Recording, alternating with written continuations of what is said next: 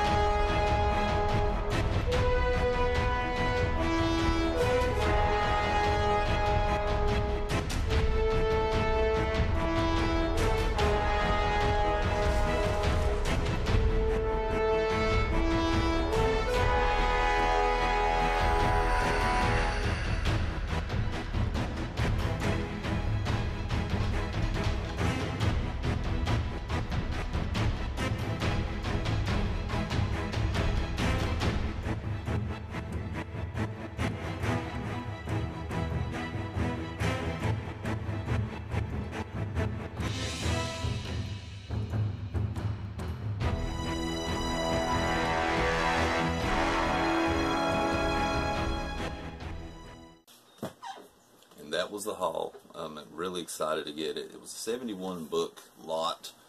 It was it was in two separate bids. Luckily, I got to win both bids. Um, I think I ended up paying after priority shipping. I think I ended up paying around a dollar fifteen per book, which is really good considering that you couldn't get this much of a run, probably back to back to back issues in this good a shape out of a dollar bin, unless you were just extremely lucky. Um, so I'm glad uh, I'm glad to have this this box. Uh, like this book is in perfect condition. This is annual number six. Uh, the spine looks like it has never even been opened. The corners are beautiful. So really, really happy with this haul. Um, when I first opened it, the very first book, uh, I think it was number 38, issue 38, I was a little concerned because it looked a little dirty, it looked a little worn, and I was hoping that the rest of the books were in better shape, and they were. They were. They were beautiful. So, thank you for watching my video. Um, share and like, subscribe, all those things that you do. Um, and we'll see you in the next video. Thank you.